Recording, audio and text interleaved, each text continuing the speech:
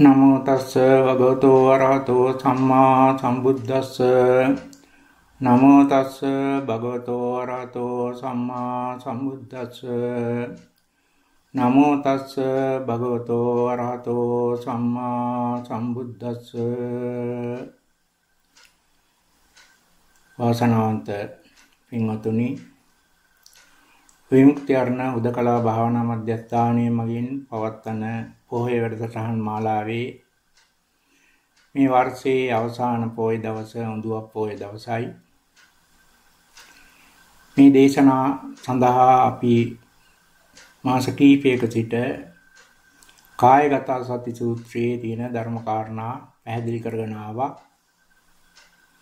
අද දවසේ මේ පින්වතුන්ට මේ කායගත සති සූත්‍රයේ අන්තර්ගත අවසාන භාවනා ක්‍රම ගැන පැහැදිලි කරන්න බලාපොරොත්තු වෙනවා.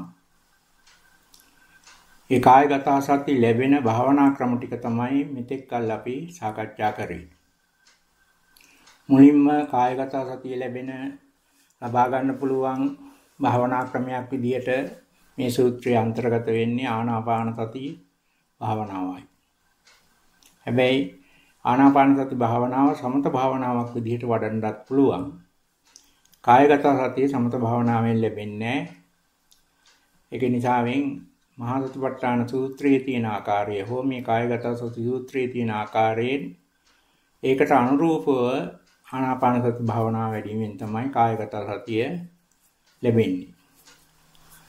ඒ වගේම දෙවෙනි භාවනා ක්‍රමයේ විදිහට අපි පැහැදිලි කරලා දුන්නා සම්පජන්න පබ්බේ තියෙන මේ කයේ කායික ඉරියව් හතර ප්‍රධාන ඉරියව් හතර භාවනාවට ගැනීමෙන් ඒක ඒ ඉරියව් මත සිදු කරන භාවනාව කායගත සති සතිය ලැබෙන භාවනා ක්‍රමයක් විදිහට බුදුහාමුදුරුවෝ පෙන්නනවා.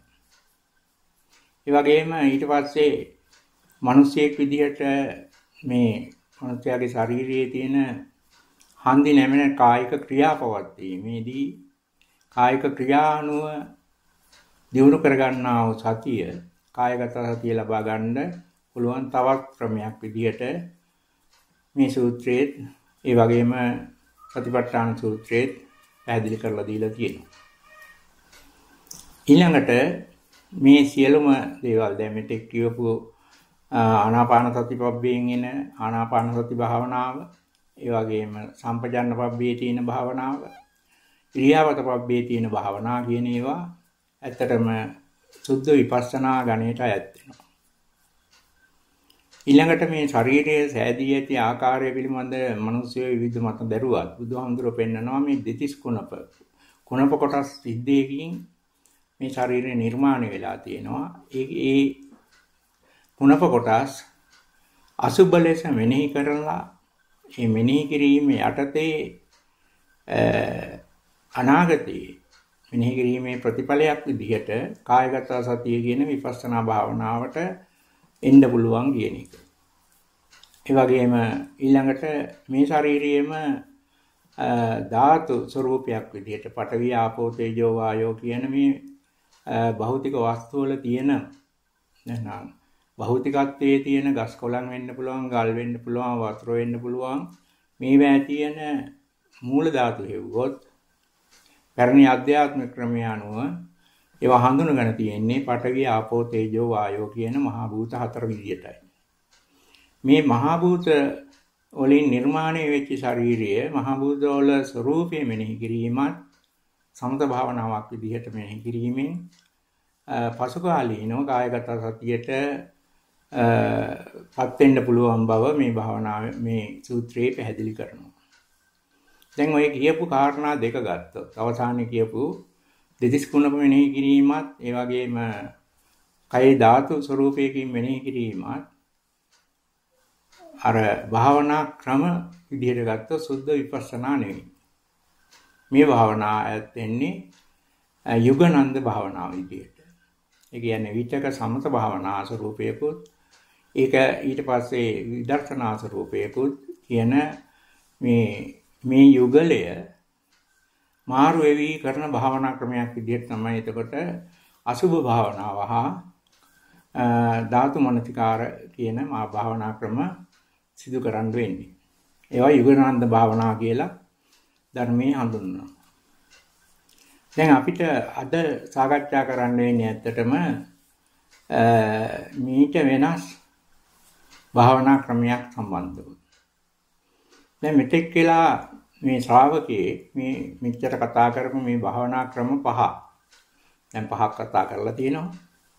මේ භාවනා ක්‍රම පහම තමන්ගේ ශාරීරියේ සම්බන්ධ කරගෙන සමත ස්වરૂපයකින් මෙනෙහි කිරීමේ ස්වરૂපයකින් හෝ ඒ වගේම සුද්ධ විපස්සනා වෙන්නේ ඒ වර්තමානයේ කායික අරමුණක සති පැවැත්වීමෙන් මේ භාවනා ක්‍රම දෙකම ගෙනියනවා.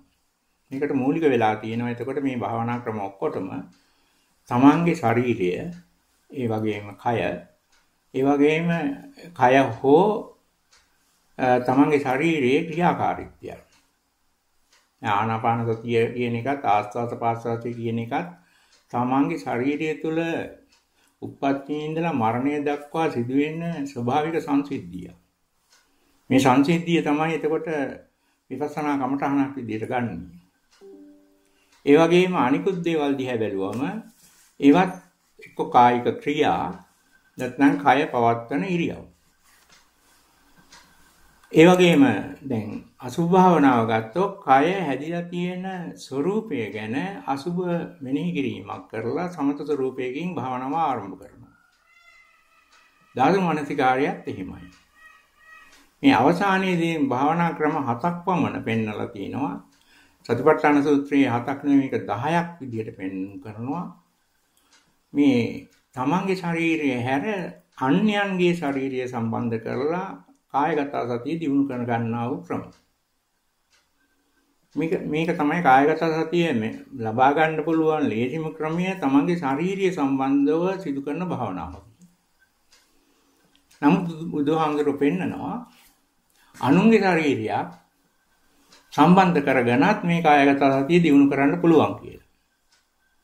මේ අනුන්ගේ ශාරීරියක් තමන්ගේ නොවන ශාරීරියක් හැබැයි පණ තියෙන ජීවී ශරීරයක්. ඒ කියන්නේ තව කෙනෙක් ජීවත් වෙන කාලයකදී කායගත සතිය මේ දිනු කරගන්න තමන්ගේ නොවන ශරීරයක් යොදා ගන්න ආකාරය බුදුහාමුදුරු දේශනා කරන්නේ. මොකද මේ අනුන්ගේ ශරීරයක් එක්ක ගනුදෙනු කරගෙන මේ සම්බන්ධ වෙනකොට අර අකුසල සංකල්පනාවල අවිජ්ජා ඇලීම නැත්නම් ව්‍යාපාද ගැටීම වැඩි වෙනවා. මේ ඇලීම් ගැටීම් නැති කරගන්න එකට ඇලීම් ගැටීම් ඇති වෙන ක්‍රමයක් භාවිතා කිරීම බෑ. කායගත ආදී තුලත් ඉන්නේ තමන්ගේ ශාරීරියට පෙර තිබිච්ච ඇලීම නැති කරන ක්‍රමයක් තමයි කායගත ආදී දිනු වෙනකොට සංකල්පනාවල පහළ වෙන්න ඕනේ. ඒක නිසා මේ තමන්ගේ ශාරීරිය සම්බන්ධ කරගෙනම භාවනා ක්‍රම පහක් පැහැදිලි කරලා අනුන්ගේ ශරීරයක් සම්බන්ධ කරගෙනත් කායගත සතිය දියුණු කරන්න පුළුවන් කියලා බුදුහාමුදුරු දේශනා කරනවා. ඒ අනුන්ගේ ශරීරයක් භාවිතා කරලා කායගත සතිය දියුණු කරගන්න නම් ශ්‍රාවකයා පණ තියෙන පුජ්‍යලේගිය ශරීරය මේකට යෝග්‍ය නැහැ. ඒ නිසාවෙන් අනුන්ගේ ශරීරයක් කරහා කායගත සතිය දියුණු කරනකොට අනිවාර්යයෙන්ම මේ පුජ්‍යලයා මරණයටපත් වේ යුතුයි. එන මරණය සම්බන්ධව මරණ මැරිච්චි මලගුණක් එක්ක තමයි එතකොට අනුන්ගේ ශරීරයක් එක්ක මේ කායගත සතිය දිනු කරන්න පුළුවන් කියලා බුදුහාඳුරෝ පෙන්වන්නේ. එදා දමදිව තිබිච්චි ඒ යුගයේ දැන් බුදුහාඳුරෝ පහළ වුණ යුගයේ මේ ඉන්දියානු සංස්කෘතියේ කිසි කෙනෙක් වලලා නැහැ, පුච්චලා නැහැ මරණයට පස්සේ. දැන් වර්තමානයේ වගේ නෙමෙයි. ඒ තමන් ඉන්න ගම්මානවල නියංගම්වල වෙනම මලමිනී දාන්න කොටසක් වෙන් කරගෙන තියෙනවා. ඒ ඒ කොටස එතකොට මැරිච්චි මලකුණු ගෙනිහින් දාන කොටසක්ම වෙනවා. ගොවිතැන් කරන කොටසක් හෝ මිනිස්සු ජීවත් වෙන කොටසක් හෝ එහෙම නෙමෙයි මේ කැලයක් ආසන්නේ තෝරගත්තේ භූමි භාගයක අමු සොහොන් කියලා සොහොන් ක්‍රමයක් තිබිලා තියෙනවා. මේක වර්තමානයේ දකින්න හම්බෙන්නේ නැහැ ලංකාවේවත්.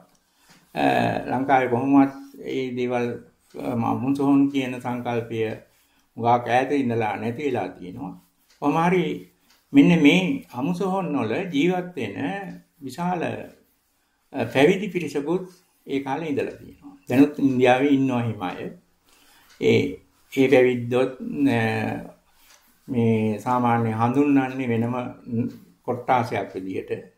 ඒ ඒ පැවිද්දන්ගේ ජීවත් වෙන ස්වરૂපයෙන් උගා කියලාට මේ අමුසොහොන් ආශ්‍රිතව. එතකොට අමුසොහොන් ආශ්‍රිතව ජීවත් වෙනකොට ඒ පුද්ගලයා ඒ ආభాසයෙන් ඉන්න ශ්‍රාවකෙක් හිමහපොම බුදුහාමුදුරුව මේ ක්‍රමයේ වැඩියෙන් භාවිතා කරන්න කියලා කියනවා. ඒකම තව ශාරීරියට අධික ලෙස ඇලීම් සහගත ජීවිතයක් ගත කරපො පැවිදි පක්ෂයේ මේ කියන්නේ මේ එතන පැවිදි ස්ත්‍රී පුරුෂ කියලා දෙවර්ග දෙවර්ගයක් ඉන්නවා බුද්ධ ශාසනයේ වික්කු වික්කුණී කියලා මේ වික්කුණීන් වහන්සේලාටවත් අපිට හම්බ වෙලා නැහැ මේ උපදේශ ලබා දීලා තියෙනවා කියලා. අමුසෝනට ගිහිල්ලා තවත් මැරිච්ච මිනිහෙක්ගේ මලකුණක් සම්බන්ධ කරගෙන කායගත සතිය දිනු කරන්න කියලා. උපදෙස් දීලා නැහැ. බොහෝ විට මේ උපදෙස් ලැබිලා තියෙන්නේ එතකොට බික්කු කියන හාමුදුරන් වහන්සේලාට. ගිහියොත් මේ භාවනා කවදාවත් කරා කියලා දැනගන්නත් නැහැ. එහෙම සිදු වෙලත් නැහැ. එතකොට මේ මේ භාවනාවේදී සිදු කරන දේ තමයි අර අමුසොහොනට ගිහිල්ලා ඒ දවසේ දාපු මලමිනියක් නම් මැරිලා එක දවසක් වෙන. ඒ වගේම තව මලමිනිය තියෙන්න පුළුවන් මැරිලා දවස් දෙක වෙන. මේවා භාවනා අරමුණු විදිහට ගන්න පුළුවන් කියලා බුදුහාමුදුරු පෙන්නනවා. ඔය ආකාරයෙන් මැරිලා දවස් 10 වෙලා ඊටත් පස්සේ මැරෙනවා. ඉතුරු වෙන්නේ ශරීරයෙන් මස් ඇටලේ දිය වෙලා ගිහිල්ලා ඒ වෙනුවෙන් ඇට සැකිල්ලේ ඇටකටු ඒවත් සත්තු ඇදලා එක එක තැන විහිල්ලා තියෙන නැත්නම් සාමාන්‍යයෙන් පිහිටි ඇට සැකිල්ල නෙමෙයි දකින්න හම් වෙන්නේ විසි කරලා දාපු කෑලි කෑලි එක එක තැන තියෙන ඇට සැකිල්ල. ඉතින් එන්නේ ඇට සැකිල්ල දක්වා මේ මරණයෙන් පස්සේ සිදුවෙන අවසාන දේ ඉතුරු වෙන දේ ශරීර කූඩුව. ඇට කටු ටික. දැන් මේ දක්වා මේවා දිහා බලලා මේ අසුභේ වඩන්න කියනවා. එතකොට මේක හැමදාම කරන එකක් නෙමෙයි. අර දැන් අපි ඉස්සෙල්ලා කතා කරපු දෙතිස් කුණප මෙනෙහි කිරීම නම් දිනපතා සෑහෙන කාලයක් කරන්න ඕනේ.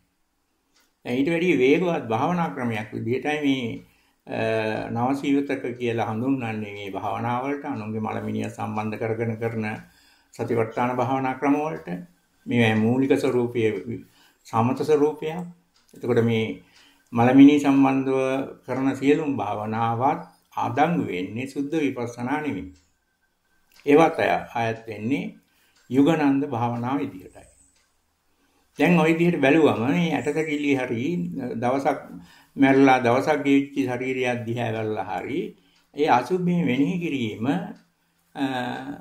කරගෙන යනකොට තමන්ගේ ශරීරයේ අර ධාතු ස්වરૂප ඉස්මතු වෙනවා. ඒ ධාතු ස්වરૂප ඉස්මතු වෙනකන් ඒක කරලා තමා ඒ හාමුදුරන් වහන්සේලාන් රැ රාත්‍රී කාලේ මේ මේවට යන්න කියන්නේ දවල් කාලේ නෙවෙයි. රාත්‍රිය උදා වෙන්න මේ කියන්නේ දවල් කාලේ උදා වෙන්න පෙර නැවත පන්සලට ඇවිදිලා අර තමන්ගේ ශරීරයෙන් ඉස්මතු වෙච්ච ධාතු ගුණ මෙනෙහි කිරීමක් තමයි ඉදිරියට කරගෙන ගිහිල්ලා තියෙන්නේ. එතකොට මේ දේවල් සිදු කරලා තියෙන්නේ ඇත්තටම භික්ෂුණීන් වහන්සේලාත් නෙවෙයි භික්ෂුන් වහන්සේලා ඒ වගේම විශේෂ කට්ටියකට විතරයි මේ උපදෙස් දීලා තියෙන්නේ. ඒවා දැනගන්න ඕනේ.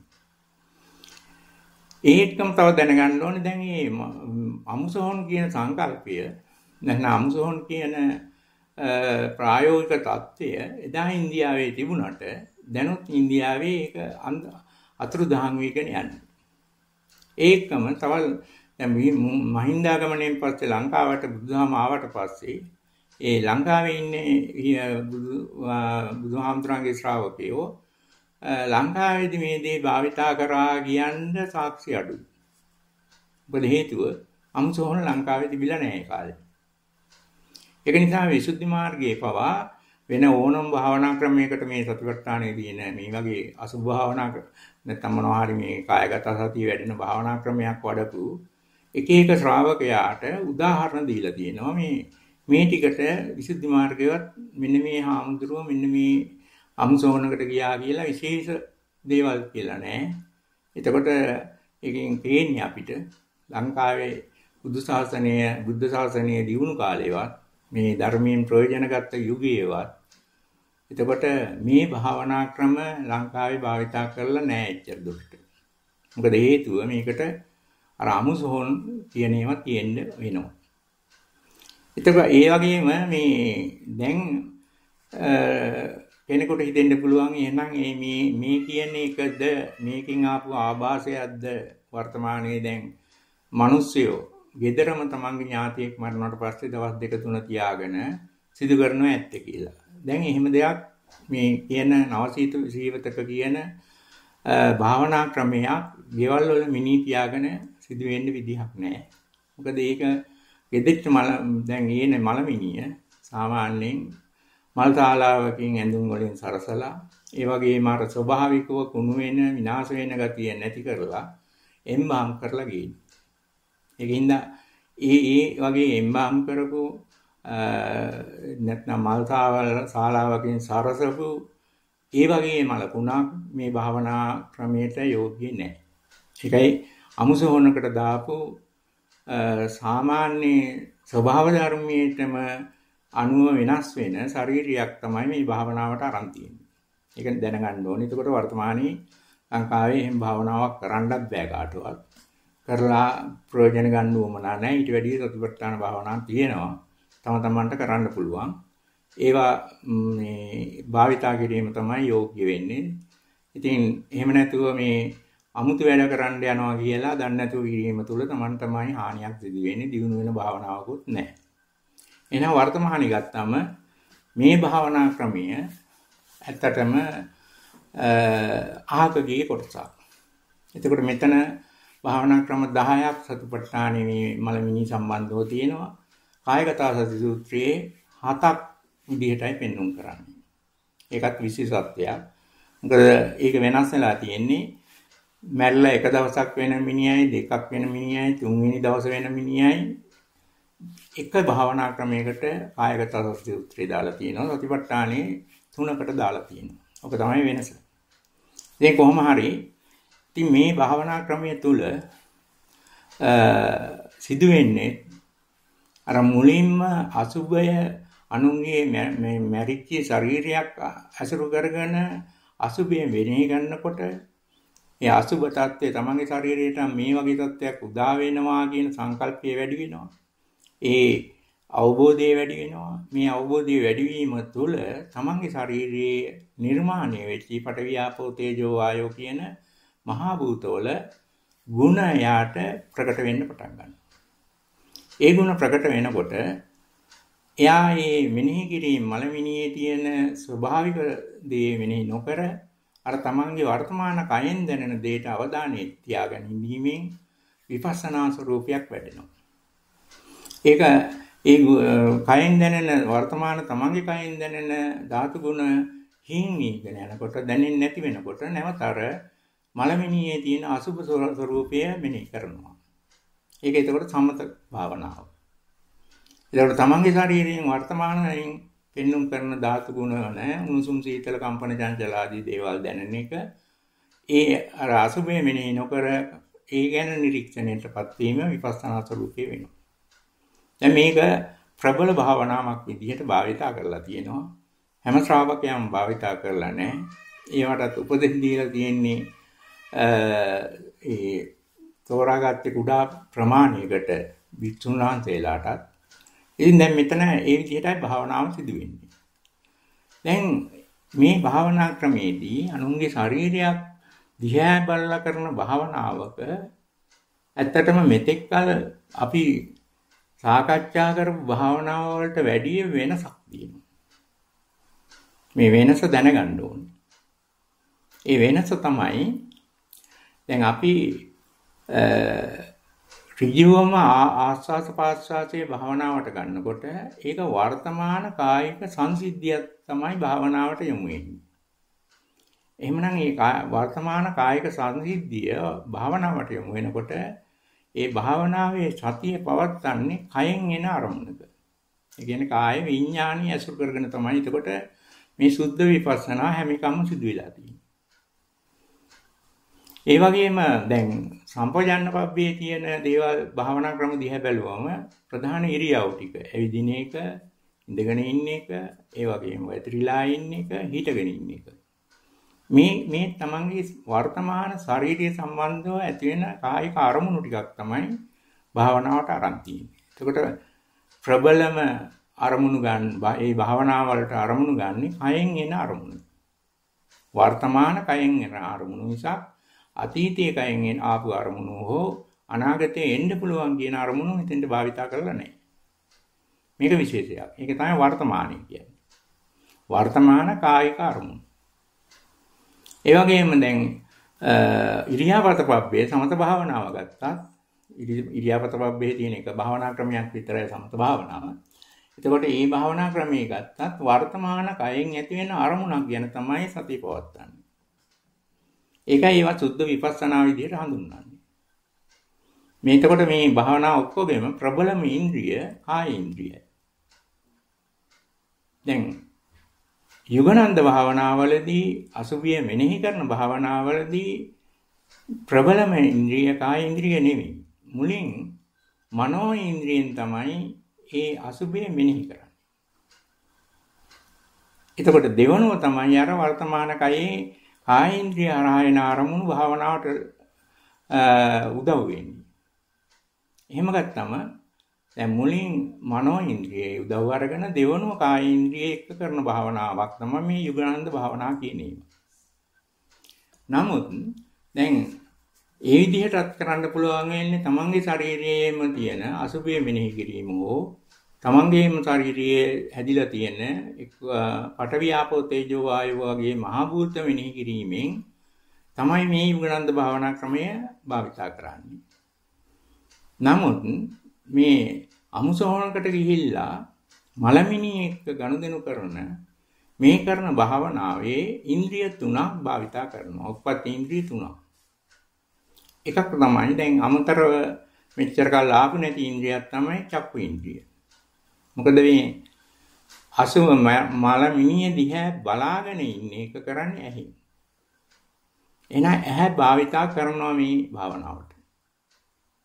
මුලින් ඇහෙන් එන අරමුණ තමයි මනසට ගන්න. අර මීට පෙර පෙන්වේව ඇහැ කන නාසය දිව කයෙන් දිව කියන ඒවෙන් එන අරමුණු භාවනාවට ගත්තේ නෑ. දැන් මෙතෙන්දී භාවනාවට ගන්නවා ඇහෙන් එන අරමුණ. ඒ කියන්නේ අනුන්ගේ ඒ මලමිනියේ ස්වરૂපය ස්වභාවික தත්ත්වය ඇහෙන් බලන්න. ඒකෙන් ගන්න අරමුණු මනසට ගන්නේ. මනසෙන් තමයි අසුභය මෙනෙහි කරන්නේ. ඊළඟට ඒ ඒක ඒ මෙනෙහි කිරීමෙන් අර නීවරණයටපත් වීම මත තමයි කයෙන් අර වර්තමාන ධාතු ගුණ ඉස්මතු වෙන්නේ. දැන් මේ මේ චක්‍රයක් යන්නේ. චක්‍රයට දැන් උපත් ඉන්ද්‍රිය තුනක් භාවිත කරලා තියෙනවා. දැන් මේ මේ ක්‍රමය එතකොට අර මල මිනි එක දවසක් ගියේවා දෙකක් ගියේවා තුනක් ගියේවා ඔය ආදි වශයෙන් ඒ ඕනම එකක් ගන්න පුළුවන් අවසානයේ ඇටසැකිල්ල උනක් ගන්න පුළුවන් කියන එක තමයි බුදුහාමුදුරු පෙන්වන්නේ. කොහොම හරි එතකොට ඉන්ද්‍රිය තුනක් භාවිතා කරලා කරන කායගත සතිය ලැබෙන ඒක එකම ක්‍රමය මේකයි.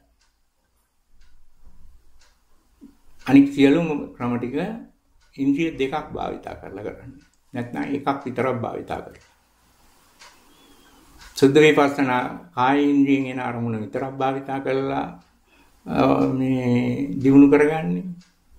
යුගනන්ද භාවනා මනෝ ඉන්ද්‍රියයි කාය ඉන්ද්‍රියයි එකතු කරගෙන කරන්නේ. එතකොට මේ නවසියුත්තක කියන මලකුණු සම්බන්ධව කරන භාවනා කාය ඉන්ද්‍රියයි මනෝ ඉන්ද්‍රියයි චක්කු ඉන්ද්‍රියයි කියන තුනම භාවිතා කරලා කරන්නේ. දැන් එතකොට මෙවැනි භාවනාවක් අද ගැලපෙනවා කියලා කියන්න බෑ. මොකද හේතුව ඒ මලමිනී මේ විදිහට නැතිකම. එතනින් ගියාම අමුසෝන් කියන දෙයක් වර්තමාන සමාජයේ දකින්න හම්බෙන්නේ නැහැ. ඉතින් ඒ නිසා මේ භාවනාවට කරන්න දඟලන එක හෝ කරන්න කරොත් හොඳයි කියන හිතන එක හෝ ඒක ඉච්ඡන නුණක්කාර වැඩක් නෙමෙයි ඊට වැඩිය සරල භාවනා තියෙද්දී සතිපට්ඨාන භාවනා තියෙද්දී ඉතින් ශ්‍රාවකය දැනගන්න ඕනේ පුළුවන් දේ කරන්න. බැරි දේ කරන්න දඟලන එක නෙවෙයි Tamange නුවණක්කාරකම. ඉතින් ඒ විදිහට කියනවා තවත් මේ මේක තුල දැන් අපිට ඇත්තටම මේ මේ භාවනා ක්‍රමීය කරන විදිය විස්තර කරන්න උවමනාවක් නැහැ. මොකද කරන්න බැරි දේ විස්තර වෙලා වැඩක් නැහැ. ඒක නිසාවෙන් අපි මේ සම්බන්ධව තියෙන මොනවා හරි වටිනා දෙයක් තියද ධර්ම කරුණු තියද එන්නේ ටිකක් පැහැදිලි කරලා දෙන්න බලාපොරොත්තු වෙනවා මේ දේශනාවේදී. එක දෙයක් තමයි දැන් අනුන්ගේ ශරීරය සම්බන්ධ කරගෙන ඒ අනුන්ගේ ශරීරයේ ඇහෙන් ගන්නේ අරමුණක් විදියට අරගෙන ඒ අරමුණ මනෝමය අරමුණක් බවට පරිවර්තනය කරගෙන ඒ මනෝමය අරමුණේ තියෙන පංච නීවරණ යටපත් කරන ක්‍රමය ඇත්තටම මේක අනුන්ගේ ශාරීරියක් සම්බන්ධ කරන්නේ නැතුව භෞතික වස්තු සම්බන්ධ කරන. ඇහැට පේන භෞතික වස්තු. නැත්නම් හදාගත්තේ භෞතික වස්තු. සම්බන්ධ කරගෙන ප්‍රබල සමත භාවනා ක්‍රම බුදුහාමුදුරන් කාලේ තිබිලා තියෙනවා. ඒක නිසාවෙන් ත්‍රිපිටකයේ ඕනම සූත්‍රයක ප්‍රබලම රූපාවචර අරූපාවචර මානසික තත්ත්ව ගන්න පුළුවන් භාවනා ප්‍රබලම භාවනා ක්‍රම ටික සමත භාවනා 40ක් බුදුහාමුදුරු පෙන්නනවා බුදුහාමුදුරන්ගේ ශ්‍රාවකයන්ටත් සමාධි ශික්ෂාව දිනු කරගන්න යොදා ගන්න පුළුවන් කියලා මේ භාවනා ක්‍රම 40 සමත භාවනා ක්‍රම 40 තියෙනවා භාවනා ක්‍රම 10ක් දස කසින කියලා. මේ දස කසින කියන ඒවැ කසින කියන්නේ ප්‍රබලයි කියන අර්ථයක් තියෙනවා ඒකේ. මේ ප්‍රබලම භාවනා රූපාවචර අරූපාවචර මානසික தත්ත්වය දැන් අසුභ භාවනාවෙන් හිම ගන්න බෑ. ඒ වගේම දැන් සමහර මරණය මරණානුස්සතියෙන් ගන්න බෑ බුද්ධානුස්සතියෙන් ගන්න බෑ. මේ ප්‍රබල භාවනා නෙමෙයි එතකොට ඒවා. දැන් රූ අරූපාවචන මානසික தත්ත්වය එහෙම ගන්න පුළුවන් ප්‍රබලම් භාවනාව ටික තමයි දස කසින කියලා කියන්නේ. මේ දස කසින වල ආලෝක කසිනේ කියනවා, පඨවි කසිනිය, තේජෝ කසිනිය ওই විදිහට අරගෙන පඨවි ආපෝ තේජෝ ආයෝ කියලා කසින හතරක් නම් කරලා තියෙනවා. පඨවි කියන්නේ මේ තද ගතිය යුතු පොළොවේ ස්වરૂපීය භාවනාවට යොදා ගැනීමක්. ඒ වගේම ජලය භාවනාවට යොදා ගැනීමක්. ආපෝ කසිනිය. දැන් ඕනතරම් මේවා ලංකාවේ බුද්ධ බුද්ධ ශාසනයේ දියුණු කාලවලදී භාවිතා කරා කියන්න සාක්ෂි ඕන තරම් විසුද්ධි මාර්ගයේ තියෙනවා. දැන් උනත් ඔය ආපෝකචිනේ සම්බන්ධව භාවිතා කරපු වතුරු භාවිතා කරන්නේ මේකට. වතුරේ නිමිත්තක් ගන්නි. ඒ භාවනා කරපු ඒ ආපෝකචිනේ භාවිතා කරන්න නිර්මාණය කරපු වතුර රඳවන ගල් වලින් හදපු උපකරණ ඇත්තටම විශාල ප්‍රමාණයක් දැන් උනත් සිතුල්පව වගේ ඒ ස්ථානවල තියෙනවා. ඒවා ඒ කටුගෙවල් වලත් තියෙනවා මේ ඒ කුටි ආශ්‍රිතවත් තියෙනවා. ඒ කියන්නේ එතකොට ආපෝගසිනිය වැඩියෙන් වඩපු පිරිසක් ඓතිහාසික සාස්ත්‍රීය විදිහට වර්තමානයේ ලංකාවේ සිතුල්පව්ව ගන්න පුළුවන්. එතන ඒකට උපකරණ තියෙන නිසාවෙන්. කොහොම හරි මේ දසකසින කියන ඒවා ප්‍රබල භාවනා සමත පැත්තේ. මේ දසකසින වල තියෙන විශේෂත්වය කියා දෙන්න හදන්නේ මේ දසකසින වල කසින භාවනා කියන්නේ ඇහෙන් පළමුව ගන්න නිමිත්ත ඒ මෙනෙහි කිරීම මත මනෝ නිමිත්තක් බවට හරවගෙන තමයි සමත භාවනාව කරන්නේ. ඒ කියන්නේ දැන් කසින මණ්ඩල කියලා අහලා ඇති. මේ කසින මණ්ඩලයක් හදාගෙන දැන් ආපෝ කසින මණ්ඩලයක් හදාගන්න නම් අර ජොග්ගුවක් මේ වාජනයකට වතුර පුරවලා ඒ වතුර ටිකේ නිමිත්ත හැම් බලනවා. බලලා බලලා කොහොම හරි ඇස් වහගෙන ඒ මනසට මේක පේන මට්ටමකට හදාගෙන තමයි භාවනාව ආරම්භ කරන්න වෙන්නේ. එහෙමනම් මෙතේ මේ දස කසින ඔක්කොම ගත්තාම ඒ කසින වල තියෙනවා ඉන්ද්‍රිය දෙකක් භාවිතා කරලා සමත පැත්තෙන්. එකක් චක්කු ඉන්ද්‍රිය. මුලින්ම ඇහෙන් ගන්න අරමුණ. දෙවනුව මනසෙන් ඒක මවා ගන්න පුළුවන් හැකියාව. මේක තුල පංචේන්ද්‍රිය අක්‍රිය වෙලා නීවරණ යටපත් වෙලා කාමයේ අහක් වෙන ප්‍රබල භාවනාවක් කියලා ආතීතයේ ඉඳලා භාවිතා කරලා තිනවා බුදුහාමුදුරන්ගේ කාලය දක්වාම. ඊටත් පෙර ඉඳලා මිනිස්සු අධ්‍යාත්මික ලෝකේ භාවිතා කරපු ක්‍රම මේවා. නමුත් අද වර්තමානයේ ඉන්දියාවේ ගත්තොත් කසින කියලා භාවනාවක් කරන අයත් නැහැ, දන්නේ අයත් නැහැ. දැන් ඒකට ඒක මාර් වෙලා තියෙනවා මේ කසිනියේ ඇහෙන් ගන්න නැතුව දැන් වෙන ක්‍රමයකට ගන්න භාවනා ක්‍රම දියුණු කරගෙන තිනවා ඉන්දියාවේ හා ටිබෙට් වල. මේ පසුගාලේ ඉන්නවා අධ්‍යාත්මිකව පරිේෂණ වලින් හදාගත්තේ. ඒවා එතකොට කසින භාවනා කියන එක වර්තමානයේ අතුරුදහන් වෙගෙන යනවා. ඒ වෙනුවට ඇහෙන් ගන්න අරමුණ කසිනියක් බවට හරව ගන්න එකට අමතරව කයෙන් එන අරමුණක් කසින ස්වરૂපයකට ව්‍යාජ ලෙස හරව ගන්න එක තමයි වර්තමානයේ භාවනා ක්‍රම වලට ඉන්දියාවේ වුණත් මේ සමත භාවනා දියුණු කරන්න වැඩිපුර යොදාගන්නේ. ඒක දැනගන්න ඕන. ටිකක් අය ඒවට රැවටෙනවා. ඒක නිසා මේ රැවටීම අඩු වෙන්න භාවනා ලෝකයේ මේ ආධ්‍යාත්මික ලෝකයේ එන්නේ එන්නේ වෙනස් වෙන ස්වરૂපයක්. බුදුහාමුදුරන්ගේ ධර්මයේ වෙනස් වෙන්නේ නැති වුණාට බුදුහාමුදුරුවෝ කියපු දීපු භාවනා ශ්‍රාවකයෝ ඒ විදිහටම කළ යුතු වුණාට මේ සමත භාවනා හැමදාම එක එක පරිණත වීම අනුව අධ්‍යක්ෂින් අනුව වෙනස් කරනවා.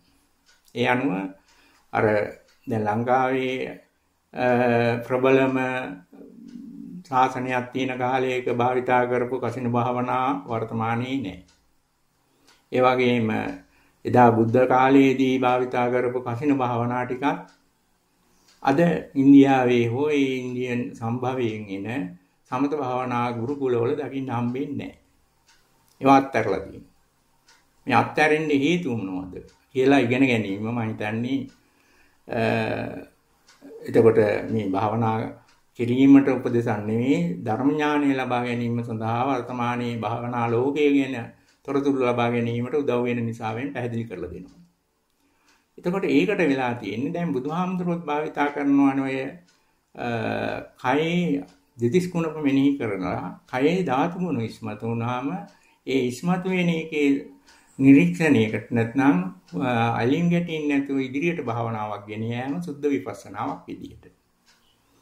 දැන් ඉන්දියාවේ අය පසු කාලේ ඉන්න මේ කය ඇසුරු කරගෙන භාවනාවකට හුරු වෙලා තියෙනවා. ඒක බුදුහාමුදුරුවන්ගේ ධර්මීය ආభాසයෙන් වුණාද නැත්නම් වෙනත් පරේෂණ වල ප්‍රතිඵලයෙන් වුණාද කියන එක ගැටලුවක් කරගන්න නැතුව යන්න වෙනවා. මොකද කොහොම හරි ඒක ලැබිලා තියෙනවා මේ කායික අරමුණු සිත තැම්පත් වෙන්න තැම්පත් වෙන්න දැන් සමත භාවනාවන් යම් රූපාවචර මානසික தත්ත්වය දැනෙනකොට කය අතුරුදහන් වෙන්න ඕනේ. කයෙන් අරමුණු දෙන්න බෑ. කය තේරෙන්න බෑ. නමුත් මේ කය තේරෙන්නේ තේරෙන්නේ නැති දැනට යන්න හුඟක් භාවනා කරලා දියුණු වෙලා ඉන්න ඕනේ. දැන් ඔය ටිබෙට් යෝගීන් හා ඉන්දියාවේ ඉන්න ඉරිසුවරු ඉන්දියන් මේ යෝගීන් හඳුනගෙන තියෙනවා මේ කය තේරෙන්නේ නැති තැනට යන ගමන තුල කයෙන් තේරෙන ස්ථාන ස්වરૂප ලක්ෂණ හතක් ගැන මේවා තමයි අර භාවනා ලෝකේ හඳුන්වන්නේ චක්‍ර කියලා. මේ චක්‍ර ඇත්තටම ශාරීරිය තුලින් ඉස්මතු වෙන කායික අරමුණු වර්ග එකිනෙකට වෙනස් ස්ථාන හතක තියෙන හතක් චක්‍ර හත. එතකොට දැන් අර කසින භාවනාවද සමත භාවනා ලෝකේ චක්‍ර භාවනාවක් බවට හැරලා තියෙනවා. ඒකට චක්‍ර භාවනාව කයෙන් දැනෙන අරමුණක් කසිනියක් බවට හරව ගන්න ගන්න උත්සාහය. ඒකට චක්‍ර හතක් ගැන මෙහිම චක්‍ර හත කියන්නේ ඒ කයෙන් දැනෙන ස්ථාන හතක්. ඒ කියන්නේ කාය කායගත සතිය දිනු කරනකොට දැනෙන ඒව නෙවෙයි.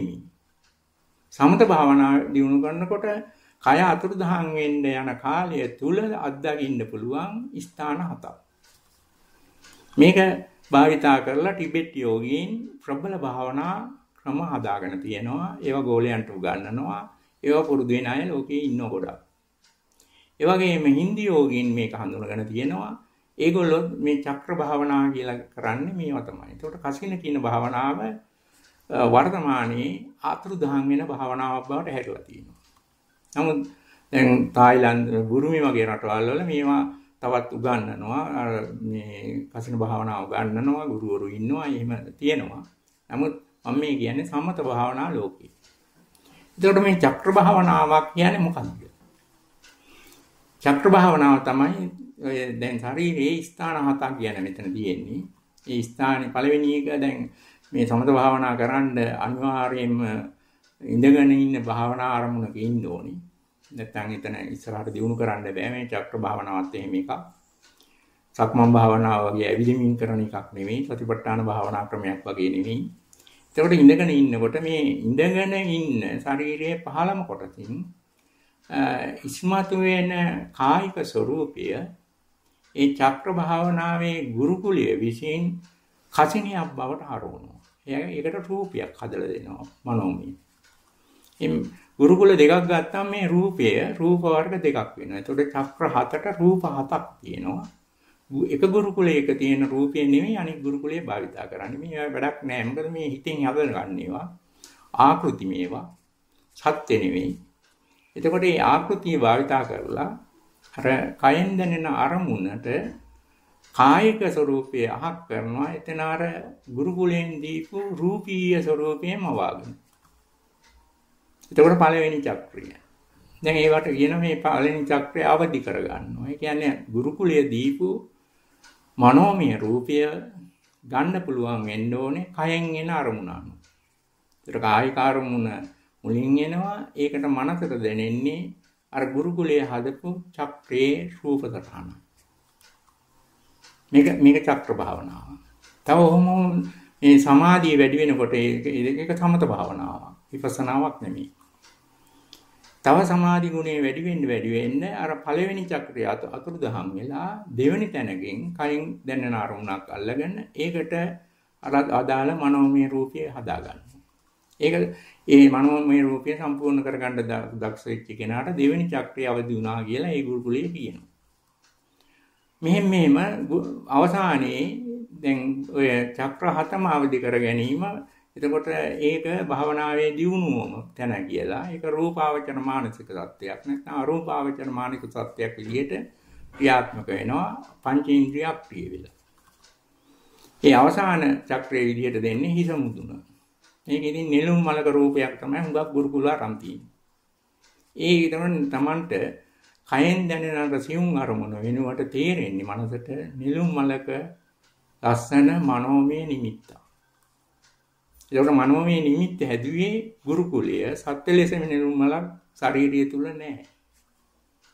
මොකද මේ චක්‍රෝලින් අවදි වෙන විශේෂ මොනෝහාරි සමාධි ගුණයක් තියේද ශක්තියක් තියෙද ඒගොල්ලෝ කියන්නේ ශක්තියක් අවදි වෙනවා කියලා. ඒ ශක්තියක් තියෙනවා. නම් බුදුහාමුදුරන්ගේ ධර්මයට විරුද්ධ වෙනවා. මොකද දෙතිස් කුණප කියන්නේ බුදුහාමුදුරෝ ආත්ම ස්වરૂපයකින් තොර සත්ව පුජ්‍යල භාවයකින් තොර දෙයක් කියන එකට.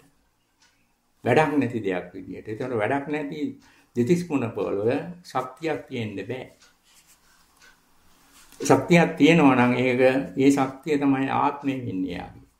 එතකොට තිලක්ෂණයේ වෙනුවට තිලක්ෂණයට ප්‍රතිවිරුද්ධ ආත්ම ගුණයක් වැඩි වෙන එක තමයි මේ චක්‍රවලින් කෙරෙන්නේ.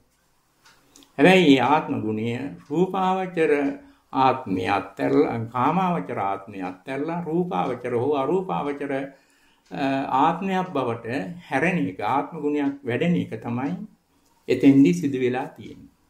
ඉතින් මේ මේ ක්‍රමය අර කසින භාවනා අතීතයේ තිබිච්ච කසින භාවනා ටික අහක් කරලා කසින භාවනාවලදී නිමිත්ත හදාගන්නේ ඇහැයි චක්‍ර භාවනාවේදී නිමිත්ත හදලා දෙන්නේ ශරීරයයි. නමුත් චක්‍ර භාවනාව තුළ කායගත සතියක් නැහැ. කයක් ගැන නෙමෙයි මේ කියන්නේ වර්තමාන කයක් ගැන නෙමෙයි මනසෙන් මවාගත්තේ ගුරුකුලයෙන් මවලා දීපු කයක් කායික ස්වરૂපයක් ගැනයි මෙතන මේ භාවනාව යෙදී භාවනාවේ කෘත්‍ය වෙන්නේ. ඒක නිසා මේ භාවනා සත්‍ය කරා යන්න පුළුවන් භාවනා නෙවෙයි මුලාව කරා යන්න පුළුවන් භාවනා. මුලාව හැබැයි කාමාවචර මුලාවක් නෙවෙයි රූපාවචර හෝ අරූපාවචර මුලාවක්. ඉතින් ඒ ගැන මතක් කරේ මේ භාවනා ලෝකයේ තියෙන දේවල් දිහා බැලුවම දැන් බුදුහාමුදුරුවෝ මේ අනුන්ගේ මලමිනියක් අරගෙන කරන්නේ කසින ස්වරූපී භාවනාවකුත් නෙමෙයි කායගත සතිය දියුණු කරගන්න තමන්ගේ වර්තමාන කයත් එක්ක ඒ කයේ තියෙන අනාත්ම ස්වરૂපය දියුණු වෙන විදිහකට තමයි සතිපට්ඨාන භාවනාව යන්නේ. එතකොට චක්‍ර භාවනාව ආත්ම ස්වરૂපයක් දියුණු වෙන ක්‍රමයකට යනවා. මේක තමයි දෙකේ වෙනස.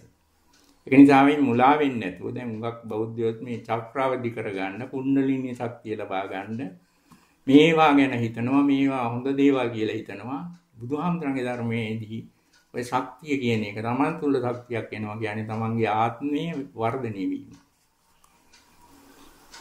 අනිත්‍ය දුක්ඛ අනාත්ම කියන ත්‍රිලක්ෂණය ඉස්මතු වීමක් නෙවෙයි ආත්ම ලක්ෂණය වැඩියෙන් ඉස්මතු වීමක්. එතකොට මේක ප්‍රඥා ශික්ෂාවට ගැලපෙන්නේ නැහැ. ඒ කියන්නේ චක්‍ර භාවනා කියන ඒවා ප්‍රඥා ශික්ෂාවට අන්තර්ගත භාවනා නෙවෙයි. ප්‍රඥා ශික්ෂාවට අන්තර්ගත භාවනා සියල්ලම සතිපට්ඨාන භාවනායි. ඒක නිසා සත්‍තිස් බෝධිපාක්ෂික ධර්ම වැඩෙන භාවනා සතිපට්ඨාන භාවනා විතරයි. දැන් මේ පින්වතුන් සතුටු වෙන්න ඕනේ අපි මේ පුහුණු කරන්නේ එතකොට බුදුහාමුදුරුවෝ පෙන්වන ප්‍රඥා ශික්ෂාව වර්ධනය වෙන භාවනාවක් කියලා. ප්‍රඥා ශික්ෂාව කියන එකේ ප්‍රඥාව වැඩි වෙන්න වැඩි වෙන්න ත්‍රිලක්ෂණය අවබෝධ වෙනවා වැඩි වෙනවා. එහෙනම් ශරීරය තුල ආත්මයක් නැහැ කියන එක අවබෝධ වීමෙන් තමයි සක්කාය දිට්ඨිය කියන එක ආක් වෙන්නේ. එතකොට චක්‍ර භාවනාවකින් එහෙම දෙයක් නෙවෙයි වෙන්නේ. ශාරීරිය අතුරුදහන් වෙලා ශරීර දෙයක් ශාරීරික අරමුණක් මනෝමය අරමුණක් බවට බොරු චිත්‍රයක් හදාගන්න එක තමයි මේ භාවනා ක්‍රමයේ මූලික ලක්ෂණය. ඉතින් ඒක දැනගන්න ඕනේ අපි මේ දැන් පැහැදිලි කරගෙන ආවේ කායගත සති සූත්‍රයේ තියෙන භාවනා ක්‍රම කායගත සති සතිය ලබා ගන්න බුදුහාමුදුරෝ දීපු උපදේශ ඒකට අමතරව තමයි මේ වර්තමානයේ තියෙන භාවනා ක්‍රම එක්ක සංසන්දනයක් මෙතෙන්දි සිදු කරේ. ඉතින් කායගත සතිය මෙහිම ලබාගෙන ලබා ගන්න පුළුවන් ක්‍රම ටික බුදුහාමුදුරු දේශනා කරලා ඒ දේශනාවල අවසානයේ දේශනා කරන අනුන්ගේ ශරීරයක් කායගත සතිය ලබා ගන්න පණ තියෙන ශරීරයකින් බෑ කියලා. මැරිච්ච ශරීරයක් කරහා කරන්නේ කොහොමද කියලා භාවිතා කරන ආකාරය ඔය මලමිනී සම්බන්ධව තියෙන නව සීවතකය කියලා කියනවා. ඇටස කිලි ටික එතකොට ඒකට ගන්නෙ නෑ. ඒක තමයි සාමාන්‍යයෙන් සමතලිස් කමටහන් වලක් තියෙන්නේ. අසුභ භාවනාවක් නැත්නම් සමත භාවනාවක් විදිහට ඒක වඩන්න. ඊට පස්සේ තමයි ඒක විපස්සනා බවට හැරෙන්නේ. දැන් මේ ක්‍රමයට මේ කායගත සති සූත්‍රයේ ඔය මලමිනි එකක් ගානේ තියෙන භාවනා ක්‍රම වෙන වෙනම විස්තර කරලා තිබුණත් අපි ඒවා දේශනා එක එක දේශනා වලට ගන්න මේ හැම දෙයක්ම එකට අරගෙන මලමිනි සම්බන්ධ කරගෙනත් කායගත සතිය දිනු කරන්න පුළුවන් කියන එක බුද්ධ වචනය. ඒක මතක් කිරීමක් තමයි කරේ. නැත්නම් මේවා කාටවත් කරන්න ඕනෑ කල යුතුයි කරන්න පුළුවන් කියලා උපදෙසන්නේ මේ දැන ලබා දෙන්නේ. ඊට වැඩිය පහසු භාවනා ඕන තරම් සතිපට්ඨාන සූත්‍රයේ තියෙනවා. ඒවා යුගයට ගැලපෙන්න ඕනේ. අර විශේෂයෙන්ම අමුසෝම් කියන දේවල් වර්තමාන සමාජයේ අතුරුදහන් වෙලා තියෙන නිසා මේ භාවනා ක්‍රම වලට වැදගත්කමක් නැහැ. මලමිනියක් මේ මේ වීදුරු වෙට්ටියට දාගෙන හිටියා කියලා අර අමුසෝනක කෘත්‍ය මෙතන සිදු වෙන්නේ නැහැ. ඒක දිනපතා හැමදාම මරණකම් කරන භාවනාවක් නෙමෙයි. එක දවසකින් මේක සම්පූර්ණ කරගන්න ශීඝ්‍ර දියුණුව ලබා ගන්න ඒ එහෙම කල හැකි පුජ්‍යලයන්ට විතරක් උපදෙස් දීපු භාවනා ක්‍රමයක් කියලා දැනගන්න වෙනවා. දැන් ඊළඟට අපිට ඉදිරියේදී සාකච්ඡා කරන්න වෙන්නේ මේ භාවනා ක්‍රමවල ක්‍රම ටික වියාදීලා බුදුහාමුදුරු කායගත සූත්‍රයේ මේ ආනිසංස ගැන. ඒ වගේම දැන් මේ මේ භාවනා ප්‍රඥා ශික්ෂාවේ තියෙන භාවනා කරපු අය නෙවෙයි. එතකොට සමාජයේ ඉන්නේ. දැන් සමාජයේ විවිධ ගුරුකුලවල සමත භාවනා දියුණු කරලා තියෙනවා. එතකොට සමත භාවනා දියුණු කරලා ලබා ගන්න ප්‍රතිඵල තියෙනවා. ඒවා සමත භාවනාවකින් ලැබෙන ප්‍රතිඵල. උදාහරණයක් විදිහට දැන් අෂ්ට සමාපatti පංච අභිඥා කියන එක ඇත්තටම මේ බුදුහාමුදුරුවෝ පහළ වුණාට පස්සේ මිනිස්සු අවබෝධ කරගත්තේ ඒවා නෙමෙයි. ඊට ඉස්සර ඉඳලා මේ දේ සමත භාවනාවලින් ලබාගෙන ගත්ත ප්‍රතිඵල. දැන් මේ කායගත ආසස්ති සූත්‍රයේ අවසානය අවසානයේදී පැහැදිලි කරනවා බුදුහාමුදුරුවෝ ඒ සමත භාවනාවකින් ලබාගත් සමහර ගුණ මේ කායගත සතියෙනුත් ලැබෙනවා කියලා. මේක පටලවා ගන්න නැතුව යන්න ඕනේ ගමන. මොකද දැන් මේ භාවනා කරන අයටත් හිතෙන්න පුළුවන් එනවා මටත් ලැබේ. එහෙම එකක් නෙමෙයි මේ කියන්නේ. උදාහරණයක් පෙන්නනවා සමත භාවනාවලින් යම් කිසි දෙයක් ලබා ගත්තද ආධ්‍යාත්මික ගුණයක් විදිහට ඒ සියලු ගුණෝන්නම් ශ්‍රාවකයෙකුට කායගත සතිය දියුණු කරලත් මේ ප්‍රඥා භාවනා දියුණු කරලත් ලබා ගන්න පුළුවන්. එතකොට දැන් ප්‍රඥා භාවනාවකින් ලැබෙන විමුක්තිය ප්‍රඥා විමුක්තියයි. ඒ කියන්නේ රාතන් වහන්සේ ළඟ තියෙන විමුක්ති ගුණය, විමුක්ති කියන්නේ දුක නැති ගුණය, ප්‍රඥා විමුක්ති ගුණයයි. ඒ වගේම දැන් සමත භාවනා ලබාගෙන දුක නැති තැනක් ලැබුණා නම් ඒක විමුක්තියක්. ඒක චේතෝ විමුක්තියයි. එතකොට මේ මේවැ තියෙන වෙනස්කම් තියෙනවා. එතකොට චේතෝ විමුක්තිය දිනු කරලා දිනු කරලා ලබා ගන්න පුළුවන් අතුරු ප්‍රතිඵල තියෙනවා. ඒ අතුරු ප්‍රතිඵල ප්‍රඥා විමුක්තියක් දිනු කරලා ලබා ගන්න පුළුවන් කියන එක මේ සූත්‍රයේදී පසුව පහදලා කරනවා.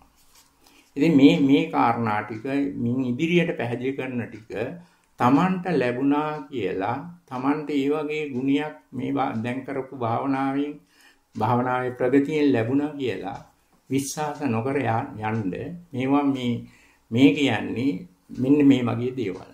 අවුරුහරි කෙනෙක් දැන් සමත භාවනාව වඩලා ඒකෙන් ලබා ගන්න අෂ්ට සමාපatti මේ සමත භාවනාව අත්හැරලා එයා මේ විපස්සනාව වඩා වැඩුවත් එයාට මුලින් ලැබපු සමත භාවනාවේ මනෝ ඉන්ද්‍රිය පුහුණු කරලා වඩපු භාවනාවේ ಗುಣ ටික මේකෙනුත් ලැබෙනවා කියන වගේ අර්ථයක් මේකේ තියෙනවා.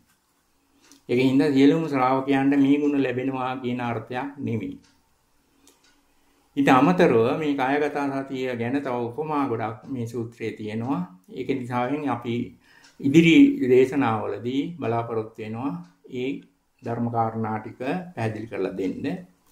ඉතින් හැමදෙනාම මේ කරගෙන යන්න භාවනාව ඒ විදිහටම කරගෙන යන්න සක්මන් භාවනාව මේ කියා දෙන අලුත් භාවනා ක්‍රමයක් අලුතෙන් අත්දකින්න මේ අත්හදා බලන්න යන්න එපා. ඒක තමන්ට හානිදායකයි. මොකද ඒක කරගෙන යන්න උපදෙස් නැහැ. අපි උපදෙස් දෙන්නෙත් නැහැ. ඉතින් තමන් කරගෙන යන භාවනාවන් සුදු සිදු කරන එක තමයි තමන්ගේ යුතුයකම වෙන්නේ. මොකද ඒක දැන් දැනට සෑහෙන දුරකට තමන් වඩාගත්තේ භාවනාව. ඒ ඒකෙන් මේ ඉදිරියට යන එක තමයි ශ්‍රාවකයාගේ යුතුයකම වෙන්නේ. ඉතින් අද දවසේ මේ දේශනාව මෙතනින් අවසන් කරනවා. හැමෝටම මේ කරගෙන යන පුහුණුව සාර්ථක කරගන්න ශක්තිය ධෛර්යය ලැබේවා කියලා ප්‍රාර්ථනා කරනවා. ඒකම තමන් බලාපොරොත්තු වෙන ආකාරයට මේ ධර්ම මාර්ගයේ ඉදිරියට යන්න ශක්තිය ධෛර්යය ලැබේවා කියලා ප්‍රාර්ථනා කරනවා හැම දිනාටම තෙරුවන් සරණයි